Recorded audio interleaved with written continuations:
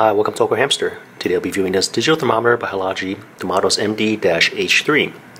In the box it came with the thermometer as well as a user manual, and there's some highlights on it. This does not contain any mercury. It reads the temperature anywhere between 10 to 30 seconds, and it's powered by a button cell battery, so I can put it under my arm to measure the temperature, under my tongue, or it can also act as a rectal thermometer too. It came with a hard plastic carrying case. The tip that measures the temperature, this part is pliable. It can either measure in Fahrenheit or Celsius. I can switch between those two by just pressing this one button here for about 5 to 10 seconds. And up here, this is where I'll change the battery. And here's the button cell battery I mentioned earlier. Overall, I found this to be accurate, very easy to use. It reads within 10 to 30 seconds. It would have been nice if this had a backlit LCD display, but that's not a deal breaker. So I would recommend it. Well, thanks for watching this review of the digital thermometer by HYLOGY. If you guys have any questions, comments, suggestions, feel free to contact me. Thanks for watching Awkward Hamster.